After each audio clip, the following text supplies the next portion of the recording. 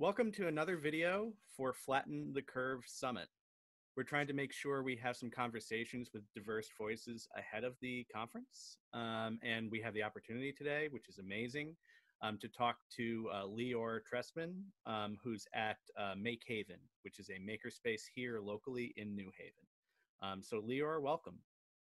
Thank you. Thanks for having me.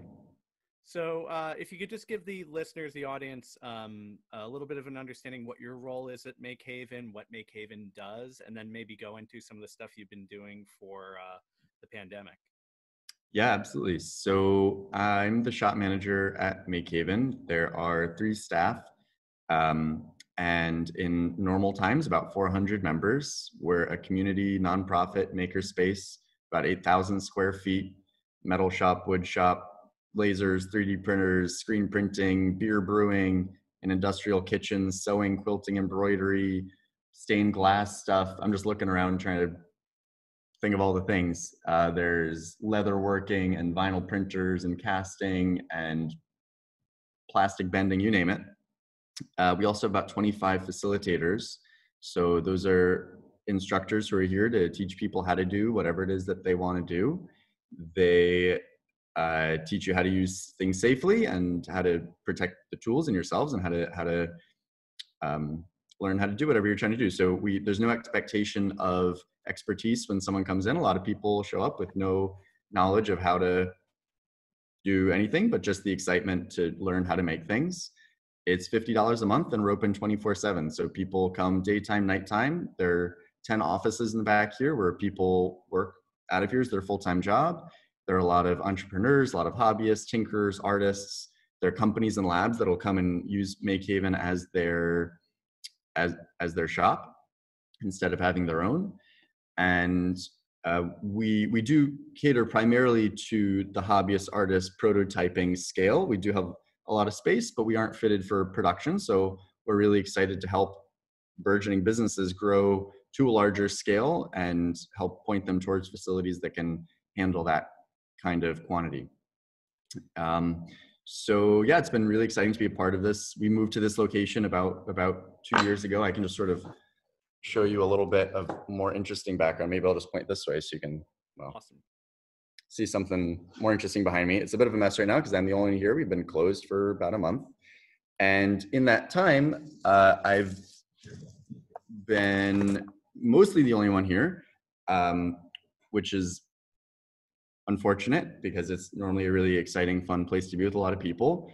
But what we've been able to, to do is get involved in a bunch of the COVID related projects. So uh, in the beginning, I think a lot of people were really, a lot of the, sort of the, the makery people were really excited by the prospect of a ventilator because that, from a making perspective, is a really challenging, exciting prospect. Uh, from our perspective, that was that that's not an easy thing to make. The threshold for how um, for how good it needs to be is really really high. You just it can't mess up even once. It needs to run a million cycles at least per patient and just it can't it can't even mess up once and that's a that's a pretty high bar so we started we let other people work on the design of that and for the first week or two we focused on masks we now have more than 100 people around new haven using our videos and instructions and designs uh, to make face masks. We uh, then help distribute them to organizations around the city. We provide people with the elastic and the, the nose bridges to help facilitate that. They can ha- we have non-contact pickup and drop-off points for those materials and masks. Then we worked on face shields. So we've made about 2,000 face shields for Yale New Haven Hospital for various organizations. We've worked in collaboration with the Neuroscience Core and Architecture School over at Yale because they have these huge lasers so they can cut out the plastic fronts really quickly. And then we assemble them here and distribute them. We worked on some projects with some physicians around Yale on intubation shields. So we were able to prototype really quickly because we're a few blocks away. So they, uh, we would make an intubation box, which is effectively just a, a shield that goes around a patient who's being intubated, have an endotracheal tube put down their throat, which is a very aerosol generating procedure. And, um, and so that's just to protect the provider. And so we were able to mock it up, bring it over to the hospital, test it out, make, and then bring it back, make some changes. And then we, over a few days, came up with the final design, which we made a bunch of, School of Architecture made a bunch of. And then we drew up specs, brought it to a local manufacturer, and now they're making them for sale, which is ideal. So our role in that was the really rapid prototyping that a company isn't quite nimble enough to do it, a bigger company. And then, but we don't have the scale to provide these long-term large needs. So we were able to take those designs and pass them along, which is pretty exciting. I can show you some of the remnants over here of those boxes. They're clear, so they're a little hard to see in the camera. Uh, but there's a bunch of them laying around. They're different designs and, and whatnot. There's a project working on nasopharyngeal swabs. So the swabs that they put way back in people's noses to test for COVID, they've just found that the bug happens to live up in your nasopharynx. So we use those swabs to test for it. They need to not be PCR inhibitors because that's how they test for the for the virus. Um, you can't have like bits of you know of, of like a synthetic cotton falling off in the back of people's heads. There are a bunch of design constraints. So we were working with some labs at Yale on how to fabricate those based on designs from around the country that other people had come up with. Unfortunately, most of the manufacturers of those are in Italy, so we are in dire need of them currently. Um, we are looking at SLA printing at FDM using Markforged, which we happen to have. So there are a bunch of different designs that we were running with in parallel to test. Um, so that was an exciting project. What else? UV sterilization for a little bit.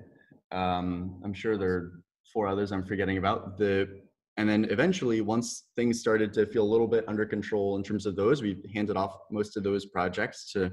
So now, when people come to us for face shields for whatever, we can send them to other manufacturers, um, both large and smaller scale. The then we decided to come up with a team that was going to work on a ventilator. So there's a Facebook group turned whatever that had a whole I think it's like 80,000 members, some ridiculous number of people now that's focused on COVID open source medical supplies. So they did a really good job of curating information that's been vetted by engineers and, and doctors to uh, help makers know what are good things to make. So they looked at about 100 different uh, ventilator designs, and they so they didn't even they don't even really want people making ventilators because that is a dangerous proposition. They have a lot of other things that that people can make that are really valuable, and that's where we started. Um, but they did do a comparison of ventilators that other groups had made from MIT to India, all over the world. And number one, based on all of the qualities that they were looking for durability, buildability, uh, how much it had been testing, how suited it was for COVID based on a number of factors, a bunch of other things. Number one was the design from Medtronic, because obviously that's been tested more than any other. It's a design that's actually used. Where it scored very poorly was on buildability, because the designs that Medtronic put out would be very difficult for someone who didn't have a whole R&D team to to actually work with. Uh, so number two on the list was Ambovent out of Israel, and their design is very buildable, has been tested. They're working on approvals, and it hits all the check boxes of what a COVID patient needs from a ventilator, or at least what 80% of them need. So we aren't trying to build a ventilator to replace ventilators at large that can help in all cases. Uh, they're really fairly complicated machines that that try to do a lot of different things but we just need a ventilator for covid. So that means it doesn't need to have all the bells and whistles. Right. It just needs specific ones. So that made it easier to design and make and we've been really lucky to have uh, really good contact with the israeli team. So we were we're meeting with them pretty regularly to help make sure we can help their design. They can help us move along more quickly and as of last night, we had our prototype chugging along pretty pretty darn close to being ready. And we've been making ours in concert with local manufacturers so that we have their input in terms of what would how we can build ours so it will be as manufacturable as possible. So for example, like 3D printing is not a great solution at scale. It's great for prototyping, but it is is not very scalable. So uh, we've tried to make parts that we can cast, for example, or parts that we can turn on a lathe and you know machine mill whatnot. Um, so that's been really helpful. And then hopefully by tomorrow the next day we'll have worked out all the kinks. We can just take our set of designs and drawings and hand them off. We'll probably make a bunch here just um, just cause and to keep working through the kinks. But i think it uh, this is something that we want being done by a company at scale so um, I know early on in the crisis, um, there was a lot of talk about 3D printing um, parts or nozzles for for ventilators and so on. And I know those only fit, I think, Italian ventilators or something in the beginning. I know a lot of that knowledge has sort of been open sourced now, and people are sharing. And obviously, that that Facebook group is huge, eighty thousand people. Um, so it's really encouraging for me to see, definitely. And I think a, lo- a lot of people are encouraged about that kind of collaboration that's been going on. Um, how do you see that developing? Um, have there been bottlenecks to that, or are things just running pretty smoothly? What's your opinion on all that? In terms of the flow of information, or 3D printing as a tool? Let's do both. so I think a lot of people's instinct when this it became clear that we weren't well equipped to deal with a a pandemic as a country or perhaps as a world. I mean, certainly as a country, we've outsourced a lot of our manufacturing, and other countries need to take care of themselves, so they aren't sending us all the PPE that they could normally. Uh, so we found ourselves in a bit of a pickle. Um, to say nothing of our government's ability or lack thereof to respond to a crisis. And the I think a lot of people's instinct was like, oh, 3D printing. Like people have been talking about this forever. You can just print whatever you want. Like this is this is it, guys. Go go go! Like bunch of nerds with the 3D printers. Like this is your moment. And it's like, well, eh, eh. 3D printing is okay. It's really slow.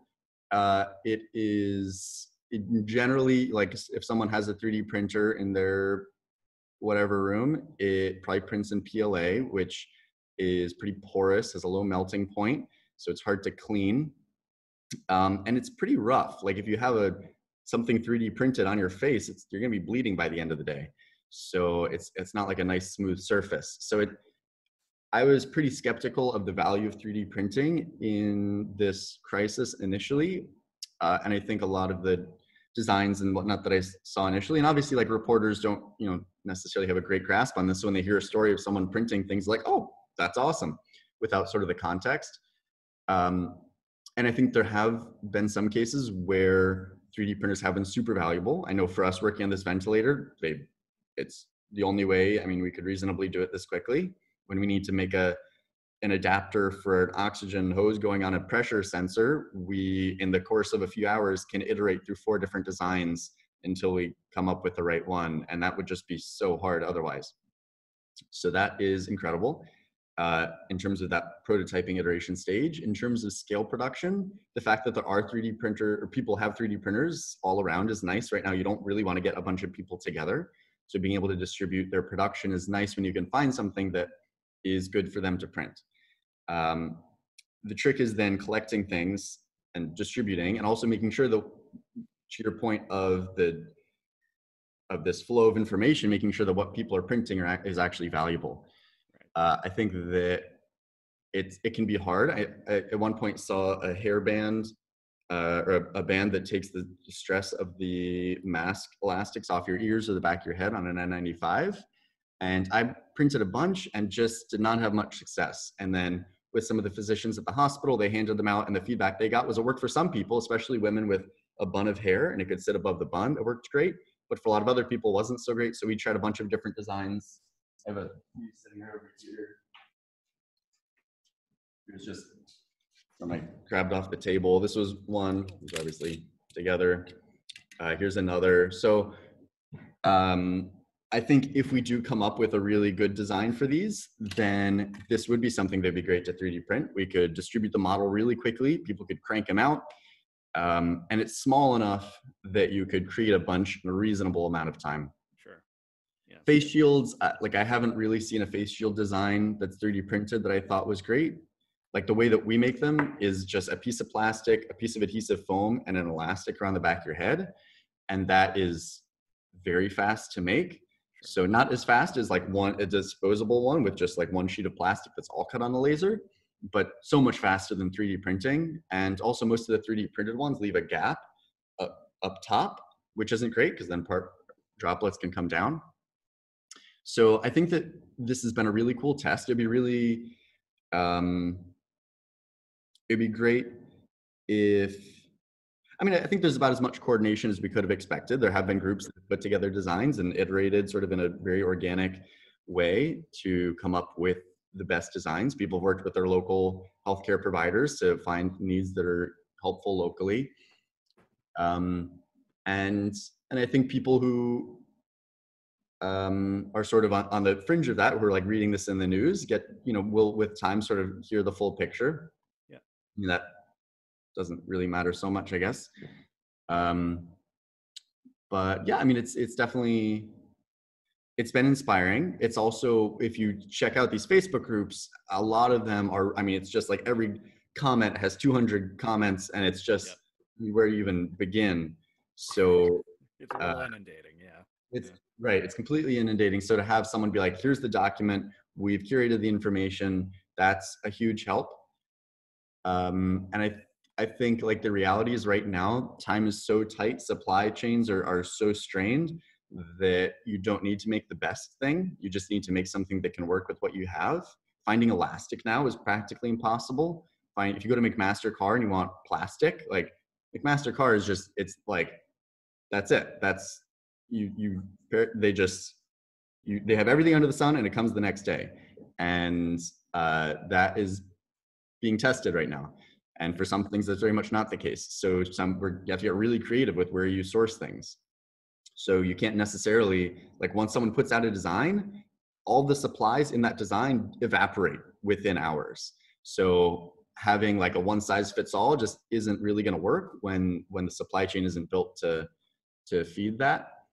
Um, so I think having a diversity of ideas helps you know helps it all work because we I mean we've had to get really creative with where we get plastic. Sure. So so I, th- I, think one of the interesting things to me, um, and you know, we've seen an uptick at Make Haven definitely with membership and people being active and so on mm-hmm. um, throughout the years. The new space a couple years ago and so on. Um, but what's interesting to me is, you know, I haven't heard or seen this much attention towards makerspaces in a long mm. time. so yeah. it's kind of nice, at least. Uh, I mean, and I don't know, we're we're sort of in the sure. middle of it, so I'm trying to put myself on the outside and just look in. Yeah. Um, it it just it seems to me that now that that maker spaces are a big part of the conversation, not only um, as spaces for people to sort of tinker and prototype their own stuff, but as sort of this social benefit to you know like New Haven, right? right. Um, not having a maker space in New Haven would have adversely affected, to put it mildly. Um, sure. So I'm wondering where that's going to go. I'm hoping you know there'll be grants and so on that sort of get freed up after this. Um, but what's your perspective on that? And I guess you know um, as far as Make Haven goes, and I know this will be decided throughout the throughout the years and as a group. But do you think this is something where um, a rapid response plan will be, you know, it's something we can plan for for the next crisis, or? Yeah, I mean, I think like obviously right now it'd be really nice to have more manufacturing in the United States, and right now we could pay for it. Right now we'd be willing to pay for most anything. Um, but in normal times, we aren't willing to pay the price of American manufacturing, so we outsource it. And I think this is not the same uh, at all, but having the capabilities of maker spaces throughout the communities in the United States, at least, and perhaps abroad, uh, offers some sort of small scale manufacturing that can be called on really rapidly to respond in an emergency. Uh, whereas a company like a, fa- a factory, even if it does exist here, is going to take a few weeks to tool up at least. I mean, it's just they they'll create they'll really crank them out once they do, but they're not very nimble because tooling up a factory is expensive and difficult and time consuming. Uh, so I think having makerspaces be a, a resource to a community um, that can act like small scale manufacturing when it's needed, when it can be paid for, like where that where that higher price can be paid for in a time of crisis that isn't affordable normally.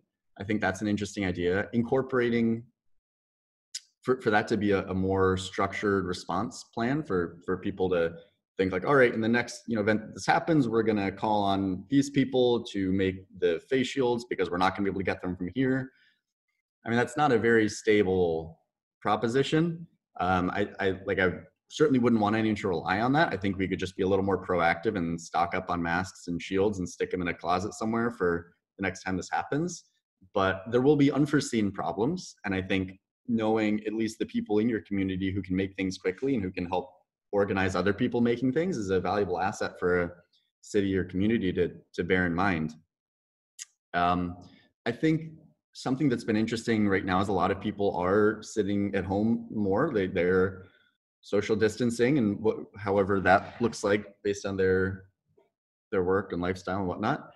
Um, and I, at least from my perspective, it not looking on it Instagram and other people's sort of hearing about their lives. Like a lot of people are gardening and working on household projects and working on things that they wouldn't get around to normally, that they would hire someone else to do, that they would, you know, just just procrastinate or not not do at all. And so I think that maybe a thin silver lining is people are sort of appreciating the value of making something with your hands, of taking the time to put energy into something that you wouldn't otherwise. I mean, time is really tight normally and right now, time is a little less tight for some people. So um, I've had a bunch of actually. There was a reporter the other day who who said he was going to sign up. He came. He was like, "Oh, it's incredible! I'm definitely like I'm going to sign up with this. This is all over. My my wife is going to love it."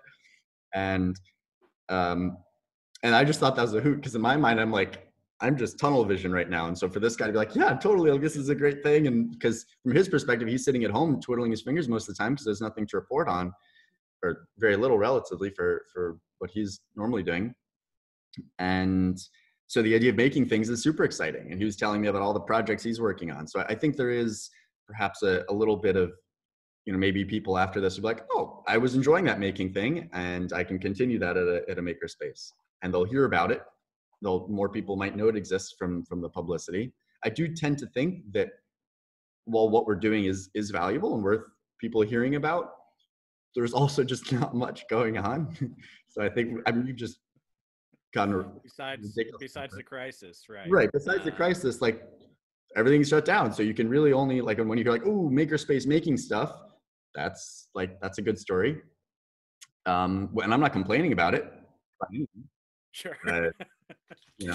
well, it's one of the reasons I'm talking to you. But I mean, um, you know, same thing here. I mean, uh, obviously, you know, I'm at home now and I've been in the space a lot recently, but uh, for a long period of time, I just wasn't even able to make things for myself or do a lot of the projects I, sure. Wanted to do. So it's been really nice and refreshing.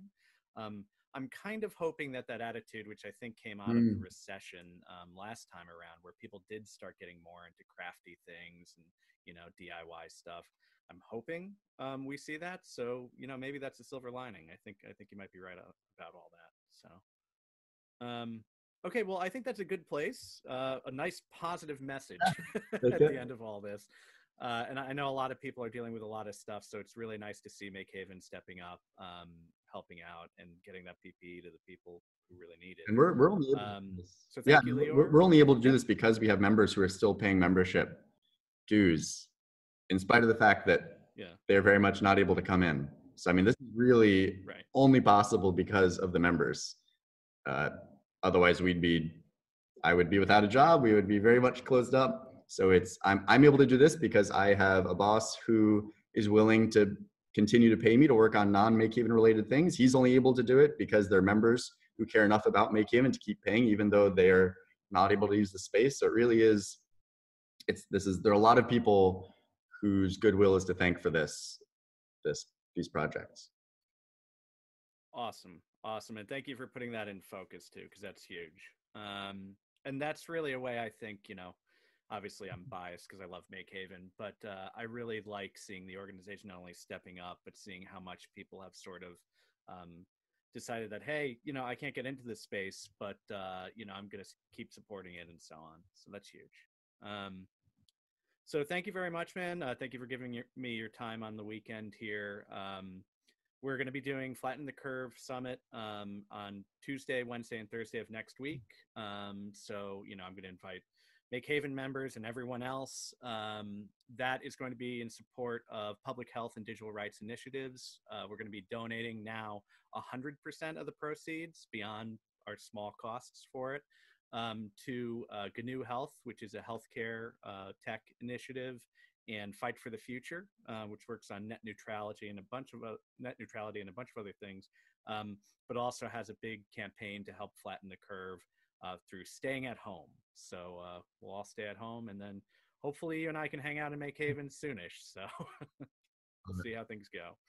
Well, Thanks so much, Lior. And uh, anything you want to plug before uh, we sort sort of uh, go on to other things here? yeah, I mean, I think so. We've tried, and by we, I mean Kate and JR, the two other people who work at Make Haven, have done a really good job of curating a lot of projects on our website. So if anyone's interested in making stuff at home for this, you can go to makehaven.org, and we have probably eight different projects that you can get involved in in one way or another, uh, from home, from not from home, from money, you know, whatever. So I think I think that's it. There are a bunch of interesting things to check out if you're interested in getting involved. Awesome. Thank you so much, man. Thank you.